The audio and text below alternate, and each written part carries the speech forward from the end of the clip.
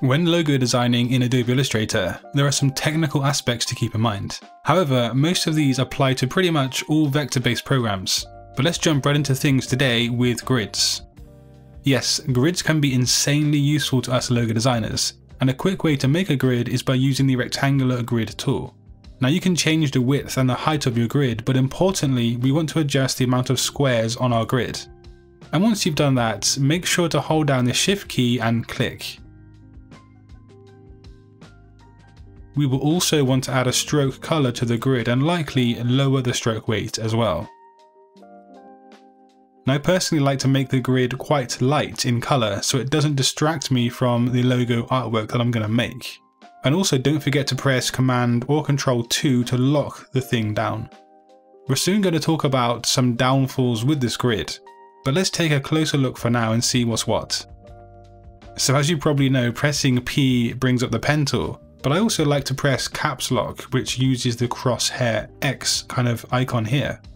And if you switch on snapping settings in the preference settings menu, this grid will help you so much when creating logos. We can also see that Illustrator is telling us when we're above the grid path or intersection. So yeah, grids can help us align things and create logo shapes really easily, but what about that downfall that I spoke about?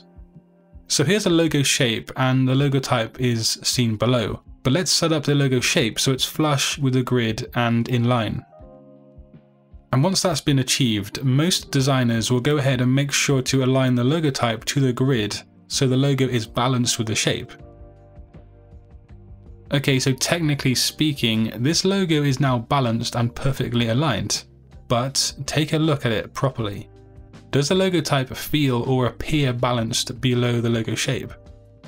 To me it doesn't, and that's because of the specific lettering on this design.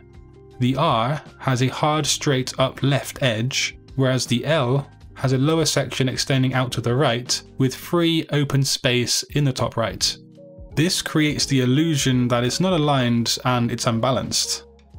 So if I duplicate the design and then nudge the logo type over to the right a tiny little bit, we can see that visually speaking things look a lot better. Or at least I hope you can see that they do. It's important to spend time paying attention to things like this on your logo designs when working in Adobe Illustrator, but we can even go a bit deeper still. If you see here, the text has a bounding box around it. Now sometimes designers will select the logo type text and then the logo shape, and just click the align button relying on Illustrator to perfectly do everything for them.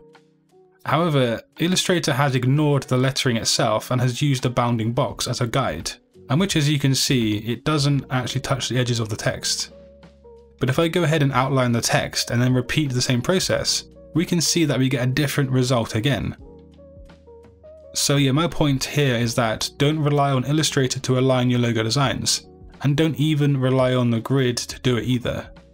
The best way to align something is to just use your common sense and your eye in combination with these tools. Yes, of course there are instances where the grid will be the best choice, mainly when working with shapes, but think about the context and which method is going to be best for what you're doing. So here's a tip that's going to save you a lot of time when working on your logo design projects. We commonly use the Pathfinder tool a lot when creating logos. One of the most used processes is the minus front operation that cuts one shape into another. The thing is that once we've done that, we cannot easily play around with the layouts because we now just have one shape instead of two. So what I like to do with my logo design workflow is I simply fill one of the shapes with a background color or the artboard color, and then I play around with the layouts to see what I like. And of course that's with I on your keyboard, which is for the eyedropper tool. Now you can arrange your design in different ways to see what might work and what doesn't work for your logo, and you can also maybe duplicate them many times over to test out various different layouts. There is another way though, a different method. So let's go back to the minus front operation as we know, and the design does end up being one shape with a cutout section. But here we can access the direct selection tool and then hold down shift and select the inner shapes.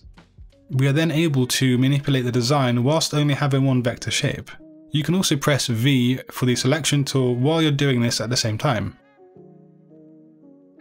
Next up a handy tip for when you're working on a client's logo. And this is to create and save custom swatches for each individual client. To do that, you simply open up the swatches panel and then add a new color group here. And this is handy because you can use color groups on various different projects, devices, and even share them with a client or other designers. But I like them mostly for the reason that I can work on a client's logo in the future and I can just simply come back to their swatch group and have access to the correct brand colors. A lot of the time, I personally use Pantone because it's a safe bet when working in different parts of the world or on different computers.